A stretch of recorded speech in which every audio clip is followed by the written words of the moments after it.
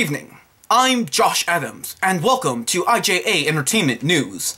Our top story tonight. Marvel has officially confirmed today that screen legend Michael Douglas will be joining Paul Rudd in Edgar Wright's upcoming Ant-Man film.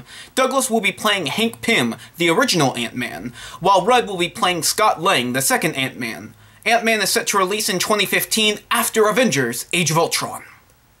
In other Marvel news, the rumored upcoming project Agent Carter, which would focus on the character of Peggy Carter from the first Avenger, Captain America, now reportedly has a pair of writers assigned to the project. Tara Butters and Michelle Fazekas are reported to be writers and executive producers on the project. Their previous credits include work on Joss Whedon's show Dollhouse, which lends some credence to this rumor as Joss Whedon is the overseer of all Marvel projects at this time. But again, this is still just a rumor. In our last bit of Marvel news, Variety is reporting that Marvel is in talks with Johnny Depp to play Doctor Strange, their Sorcerer Supreme. Depp's agent is denying the report at this time, so for now this is just a rumor. Doctor Strange does not currently have a release date, but given how full Marvel's plate currently is, it is safe to say that it would not be until 2016 at the earliest. Speaking of Depp, he is reported to begin filming Pirates of the Caribbean Dead Men Tell No Tales at the end of this year in Puerto Rico and New Orleans. Also returning to the next installment of the franchise is Keith Richards, once again playing Captain Jack Sparrow's father, Captain Teague. The film is set for a July 2016 release.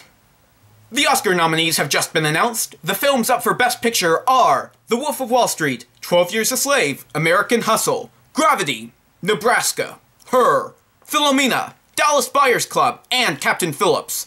For the nominations in the other categories, check out our website or go into the description below. That's all for news today, so let me turn it over to my colleague Adams Josh for this week's new releases. Adams? Thanks, Josh. Here are this week's major theatrical releases. First off, we have Jack Ryan, Shadow Recruit. This movie stars Chris Pine and it is based off the Tom Clancy character of the same name. In the movie, the titular character discovers a Russian plot to destroy the US economy and races to stop it with the help of his mentor, played by Kevin Costner.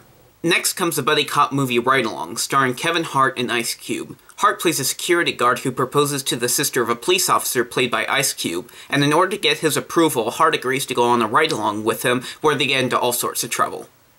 Lastly, we have The Devil's Due, a horror movie about a wife giving birth to an evil baby. And you know that's a really good movie because it comes out in January instead of, say, October. The other movies coming out this week are The Nut Job, GBF, Big Bad Wolves, Like Father Like Son, Reasonable Doubt, Summer in February, and Freezer. Now for this week's DVD releases. Funnily enough, both of the stars of Fox's upcoming film The Fault in Our Stars have DVDs releasing this week. Shailene Woodley stars in The Spectacular Now, another young adult novel adaptation, this one taking a more realistic look at high school romances, which is said to avoid all of the cliches that plague the genre. Meanwhile, Ansel Elgort plays Tommy Ross in the remake of Brian De Palma's classic Carrie, which also stars Chloe Grace Moretz. Also out this week is Lee Daniels' The Butler, about a White House butler who served eight different presidents over the course of three decades. Many people feel this film was snubbed by the Academy with its lack of a Best Picture nod. Also new on DVD this week is, enough said, You're Next, Fruitvale Station, 20 Feet from Stardom, Short Term 12, Blue Caprice, and ACOD. You know, Josh, I don't know why the Russians would be trying to destroy the US economy. I thought we were doing a good enough job doing that ourselves.